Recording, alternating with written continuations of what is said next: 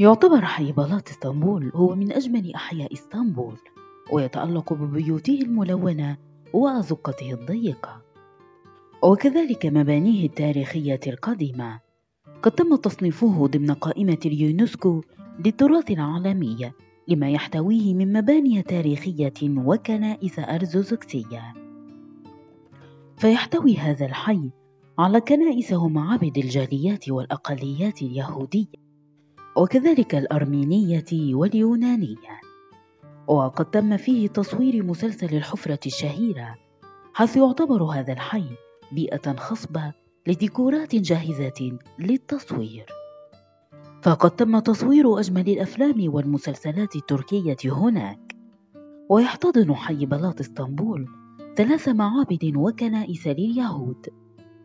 ويقع حي بلاط اسطنبول في منطقة الفاتح بين منطقتي إيوان سراي وإلى الغرب من منطقة أمينونو. حيث يطل على القرن الذهبي من مدينة إسطنبول بشقها الأوروبي الجميل ويمكن الوصول إلى هذا الحي باستخدام باصات النقل العام.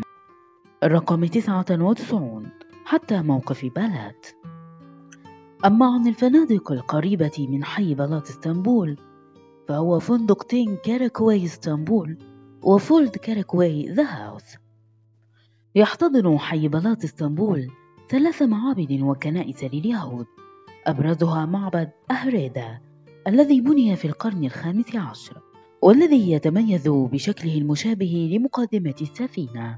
أما المعبد الآخر فهو كنيز يامبول ويرجع اسمه إلى اليهود المهاجرين من حي يامبولو في مقدونيا كما ويمكنك أن تلاحظ عند مسيرك في هذا الحي الجميل نجمة داوود التي قد تلاحظها على كثير من المنازل والبنايات كدليل واضح على التاريخ اليهودي لهذا الحي. كما ويضم حي بلاط اسطنبول كنيسة ومتحف شورى وهو مثال شاهد على الجذور البيزنطية الأرثوذكسية. قد كان المتحف عبارة عن كنيسة مسيحية اسمها كنيسة المخلص المقدس. وفي عام 1948 تم تحويلها إلى متحف شورى. كما ويحتوي المتحف على الكثير من اللوحات الفنية والفسيفساء. وكذلك اللوحات الجدارية التي تصور حياة يسوع وأمه مريم وفقا للعقيدة الأرثوذكسية كما أن للطابع الإسلامي بصمته في حي بلاط إسطنبول حيث يتواجد فيه جامع عثماني عريق. وهو جامع فروح كتهادا الذي بني عام 1562 في عهد السلطان سلمان القانوني. صممه المعماري الشهير سنان ويتألق هذا الجامع بمئذنته الشامخة ونقوشه الإسلامية الرائعة.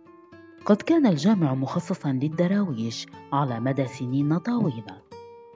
فإذا رغبت في أخذ قسط من الراحة فالحي مليء بالمقاهي والمطاعم الشعبية التي بإمكانك فيها احتساء كوبا من الشاي أو فنجانا من القهوة التركية. كما ويمكن لزائر الحي أن يبتاع من محلات الأنتيكا تذكارا لن يجدوه إلا في حي بلاط إسطنبول. حيث سيجد تحفا تخلد قصة الحي اليهودي والمسيحي والمسلم وكذلك تعايشهم معا. أشكركم لحسن الاستماع. كانت هذه نبذة مختصرة عن حي بلاط إسطنبول لكن لا تنسوا الإعجاب بالفيديو ومشاركته مع أصدقائكم. أرحب باستقبال تعليقاتكم ومقترحاتكم. ألقاكم في الفيديو القادم على خير. إلى اللقاء.